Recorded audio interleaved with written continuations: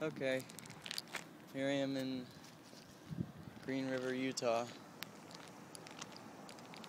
and uh, it's kind of your typical Western style town. Just some stuff.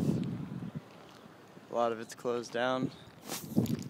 Um, I'm not really sure if I'll have signal for the next couple days.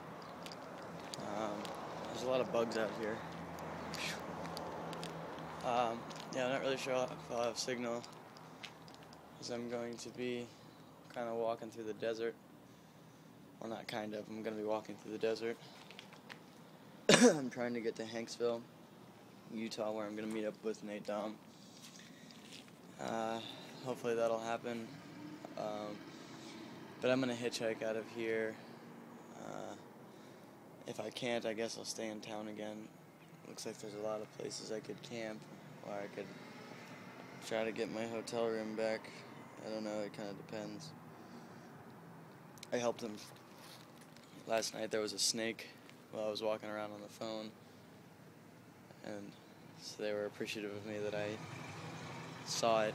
Of course, they killed it, which kind of sucked, but I guess it needed to be done.